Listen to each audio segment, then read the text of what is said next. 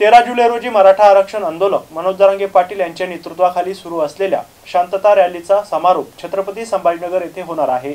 ट्रॅफिकचे नियोजन कसे राहील या विषयावर ट्रॅफिक पोलीस विभागाच्या वतीने डीसीपी शिलवंत नांदेडकर यांनी संपूर्ण ट्रॅफिकबद्दल पत्रकार परिषदेमध्ये माहिती दिली आहे.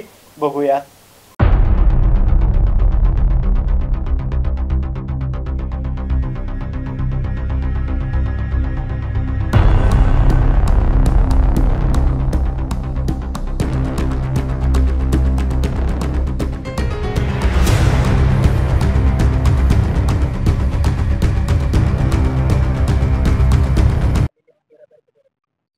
दिनांक तेरा जुलै रोजी मनोज जरांगे पाटील यांच्या शहरामध्ये शिडको पुलापासून ते क्रांती चौक इथपर्यंत रॅली आहे.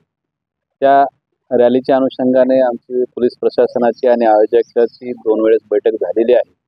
त्यांनी बाहेरून आल्यानंतर कुठे पार्किंग करावी कशा प्रकारे यावं याबाबत संपूर्ण नियोजन झालेलं आहे.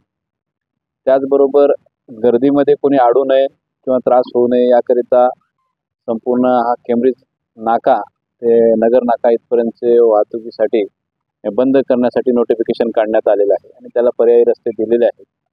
जे बाहेरून येणार आहेत त्यांच्यासाठी अयोध्यानगरी अयोध्या नगरी आहे जमीनदार लॉन्स आहे अ, रुबिक कंपनी आहे कलाग्रामचं मैदान आहे. या ठिकाणी आपण पार्किंग करत आहोत आणि व्यवस्थित योग्य तो बंदोबस्त लावत आहोत.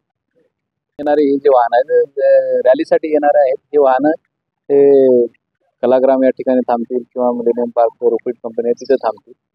आणि जे बाहेरून येणारे वाहनं म्हणजे बसेस वगैरे जे आहेत त्यांचंही नियोजन केलं जाईल. त्यांना या रॅलीचा मार्ग सोडून इतर मार्गाने त्यांचं नियोजन केलं जाईल. तर हा अंदाजे आकडा आमच्याकडे काही फिक्स आलेला नाही परंतु हजाराच्या वर पन्नास हजाराच्या वर संख्या किंवा लाखाच्या वर संख्या असू शकते. त्या दृष्टीने आमचं नियोजन आहे.